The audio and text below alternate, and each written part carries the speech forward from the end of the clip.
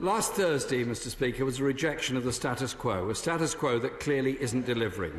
There are now 13.5 million people living in poverty in Britain, up 300,000 in the last year.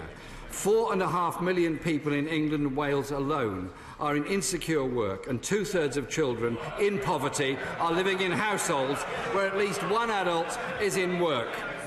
The Prime Minister has two months left. Will he leave a one nation legacy? And will that one nation legacy and will that one nation legacy be the scrapping of the bedroom tax, the banning of zero hours contracts and cancelling of the cuts to universal credit?